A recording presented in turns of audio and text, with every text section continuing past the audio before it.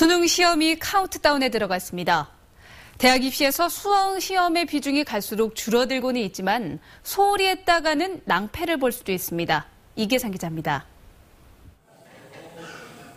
대학 수학 능력 시험일이 한 자릿수 앞으로 다가오면서 고3 교실은 실전 체제로 바뀌었습니다. 실제 수능 당일 시험 스케줄에 맞춰 수험생들은 쉬는 시간을 지켜가며 최상의 컨디션으로 끌어올리고 있습니다.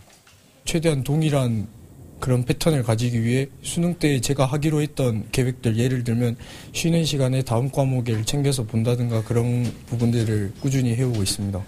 진학 담당 교사들은 학생들을 수준별로 모아 틀리기 쉬운 문제를 중심으로 마지막까지 촘촘하게 지도를 하고 있습니다. 특히 시험일이 다가올수록 익숙한 교재나 오답 노트를 활용해서 과목별 약점을 보완하라고 조언합니다. 핵심 내용들이 무엇인지를 반드시 파악할 수 있도록 학습 방법하고 그 다음에 공부하는 요령을 학생들이 체득할 수 있도록 지도하고 있습니다. 대입 선발에서 수능보다 수시 비중이 커졌다고는 하지만 최저 등급을 벗어날 경우 최종 입시 결과는 뒤바뀔 수도 있습니다. 물수능이라고 불릴 정도로 수능 시험이 쉬워지는 추세여서 중요 과목의 한 문제가 당락을 결정짓는 열쇠가 될 수밖에 없습니다.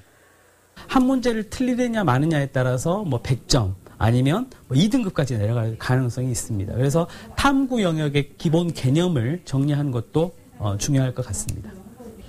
입시 전문가들은 수능 시험이 쉬워지는 만큼 좋은 점수를 받을 가능성이 높아졌다며 수험생들에게 끝까지 최선을 다해달라고 당부했습니다.